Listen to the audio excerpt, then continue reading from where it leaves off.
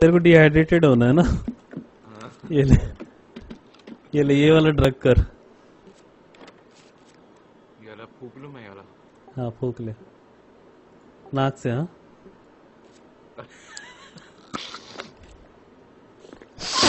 हाँ